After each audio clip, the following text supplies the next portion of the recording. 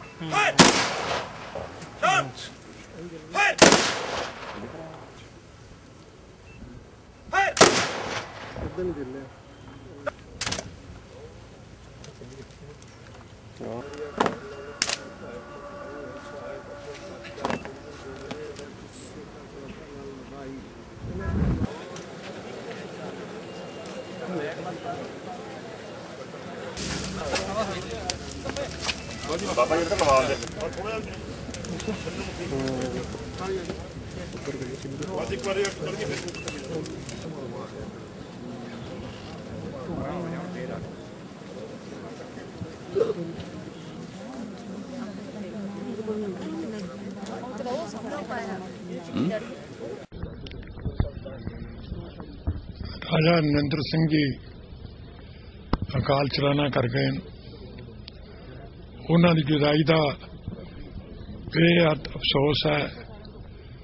ਅਕਾਸ ਹੈ, ਨਾ ਕਿਹਾ ਜਾ ਸਕਦਾ, ਨਾ ਬਿਆਨ ਕਰ ਸਕਦਾ। ਉਹਨਾਂ ਨੇ ਲੰਮਾ ਸਮਾਂ ਪੰਜਾਬ ਦੀ ਸੇਵਾ ਕੀਤੀ। ਮਿਨਿਸਟਰ ਵੀ ਰਹੇ ਐਮਐਲਏ ਵੀ ਰਹੇ।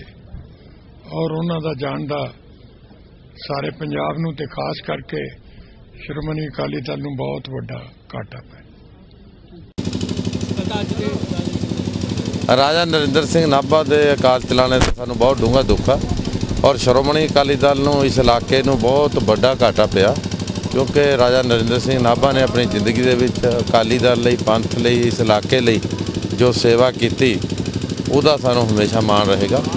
ਔਰ ਮੈਂ ਆਪਣੇ ਵੱਲੋਂ, ਸ਼੍ਰੋਮਣੀ ਅਕਾਲੀ ਦਲ ਵੱਲੋਂ ਜਿੱਥੇ ਪਰਿਵਾਰ ਨਾਲ ਦੁੱਖ ਸਾਂਝਾ ਕਰਦਾ, ਉੱਥੇ ਵਾਹਿਗੁਰੂ ਅੱਗੇ ਹੀ ਅਰਦਾਸ ਆ ਕਿ ਪ੍ਰਮਾਤਮਾ ਉਹਨਾਂ ਦੇ ਪਰਿਵਾਰ ਨੂੰ ਰਾਜਾ ਨਰਿੰਦਰ ਸਿੰਘ ਵਾਂਗ ਪੰਥ ਦੀ, ਪੰਜਾਬ ਦੀ ਔਰ ਪੰਥ ਦੀ ਦਸਬੰਦੀ ਸ਼੍ਰੋਮਣੀ ਅਕਾਲੀ ਦਲ ਦੀ ਸੇਵਾ ਕਰਨ ਦਾ ਬਲ ਬਖਸ਼ੇ।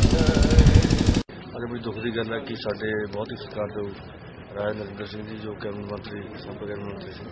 ਮੈਂ ਸਮਝਦਾ ਕਿ ਉਹਨਾਂ ਦੇ ਜਾਣ ਨਾਲ ਜਿੱਥੇ ਪਰਿਵਾਰ ਨੂੰ ਘਾਟਾ ਪਿਆ, ਉੱਥੇ ਪਾਰਟੀ ਨੂੰ ਬਹੁਤ ਘਾਟਾ ਪਿਆ। ਕਿਉਂਕਿ ਬਹੁਤ ਲੰਬੇ ਸਮੇਂ ਤੋਂ ਪਾਰਟੀ ਦੀ ਸੇਵਾ ਕਰਦੇ ਆ ਰਹੇ ਸੀ ਤੇ ਪਾਰਟੀ ਵੱਲੋਂ ਬੜਾ ਮਾਣ ਸਤਿਕਾਰ ਮਿਲਿਆ।